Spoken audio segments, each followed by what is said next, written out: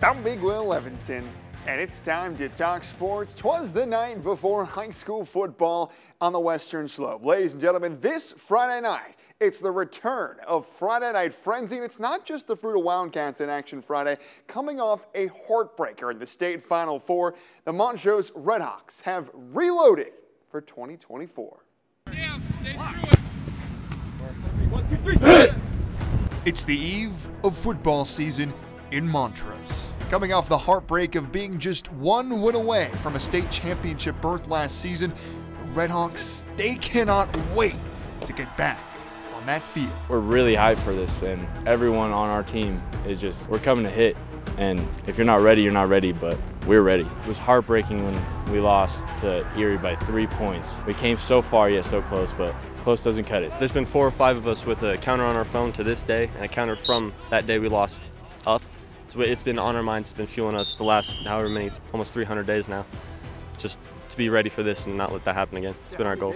And I'll be honest, I had some worries before I came to practice. After all, it's a Montrose team that loses a ton of production. Two-year starting quarterback Gage Wareham, 4,000 yard rusher Blake Griffin, Jackson Killen, Isaac Jessup, Cortland Nelson, the list goes on. But then I got to practice, and one look at this year's team alleviated those concerns. Everybody loses their seniors every year, so it's not that we're at a disadvantage in that regard. Everybody has to, to graduate their seniors, and I think what happens, you know, when you when you get to a point where your program is established and the younger guys they step up because it's their turn, and so they, they don't want to be the ones that have a, a letdown, and, and there's a certain level of expectation that becomes expected, and that's that's kind of what they usually live into. And kids will usually do what you need them to do if you expect that out of them. I know we lost a lot of starters last year to, to this year, but we have fillers for them, and we're coming at we're coming at the opponent with grit. And at the quarterback position, don't expect any drop off for this team. Six foot three inch senior Chris Mock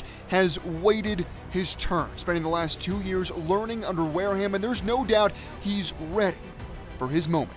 He's done a really nice job, and he's he's a big, strong, athletic kid, and we're expecting great things from him, honestly. So it's finally his time. I'm happy for him. He's he's had to kind of wait in the shadows, but he's plenty capable of doing the job. So I'm excited for him. Me and Gage were, you know, great friends over the last three years. I've been learning from him, and I don't think there's a, a thing that he has known that he hasn't taught me.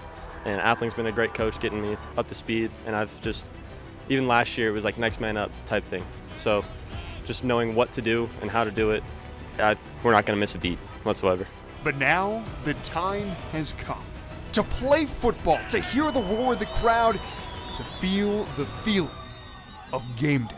Get your blood flowing a little bit, and you know you think back to all the all the first games that you've ever played in or been a part of, and, and it's exciting for these kids to be able to do that tomorrow. It's going to be a great night for football. The first game's always electric, and we'll have the band out here, and uh, you know I'm sure the, the, the, fans will show up. It's going to be a great environment. Um, hopefully our kids are dialed in and ready to play, and we can uh, you know just play our style of football and not worry too much about all the distractions and just kind of lock into doing our job.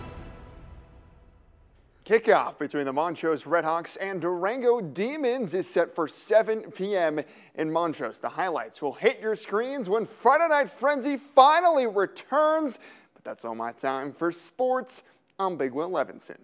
All right, thanks, Josephine. High school football kicking off here in the Valley tomorrow night. College this weekend. The NFL two weeks from tonight. We're here. We're here. you know, yeah. Oh, we've been waiting all year for it. You've been waiting all year, and you talk about the last month, we're getting mm-hmm. closer, we're getting closer, and now just like that, yeah. it's here. And I mean, talking to the coaches, it comes so fast for them at their practices. They only have two weeks. They probably to wish be they in had full a. A, more time. They wish they had more time to practice, but it's here. They're playing ball Good tomorrow. luck to all of them tomorrow night. We're looking forward to a great season. We're done here. Tune into WesternSlopeNow.com for all your news, weather, and sports. See you later.